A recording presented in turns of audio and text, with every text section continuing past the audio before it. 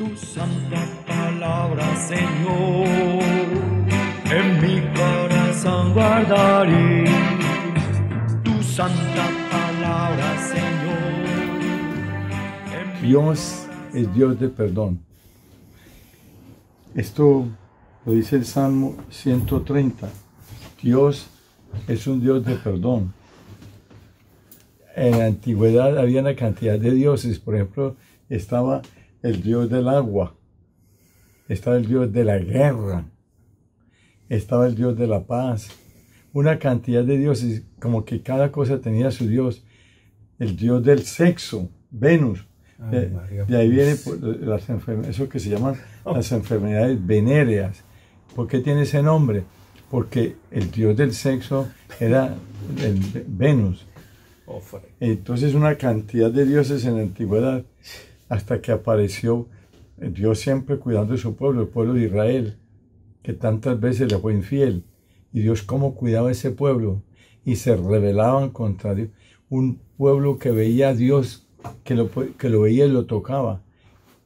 ¿A quién de nosotros le tocó, le tocó ver las maravillas que le tocó al pueblo de Israel? Por ejemplo, ver de noche una nube que se volvía fuego para iluminarlos. Y esa nube se volvía una nube de, nosotros del cielo para tapar el sol y no, y no morir del calor. Y cómo los cuidaba. Y ese pueblo ¡ah, estarudo. Y ese pueblo terrible. Un, pueblo que se rebelaba contra Dios, viéndolo tenían hambre, iban a Moisés, Moisés iba donde Dios, mañana les doy comida. Vinieron todas esas um, cantidades de, milagros que, que, vimos con que comían. Y que cada uno sabía lo que le, quería que, le supiera. Hasta eso, quiero que me sepa pavo. Entonces, esa carne que caía a las cornices le sabía pavo. Que me sepa a carne de, de vaca o de toro, y sabía eso. Que me sepa pollo y cada uno lo que quería que le supiera y el Señor se los concedía. Y ese pueblo tan testarudo, no seremos nosotros también así viendo la belleza de Dios. Mire hermano, que usted todos los días se despierte. Eso es que Dios nos despierte. ¿Cómo no, no va a ser un regalo de Dios? Que por la noche cansados vengan las neuronas del sueño y nos quedemos dormidos y descansemos durante el sueño. Y después vienen las neuronas de la, de la, que nos despiertan y nos despertamos la belleza de Dios, la dulzura de Dios, el encanto, la belleza de Dios. Por eso, tanta belleza y nosotros que le hacemos y le hacemos. Por eso, Señor, si, si observas el recuerdo de nuestras faltas, ¿quién podrá resistir si te pones a llevar, a llevar cuenta?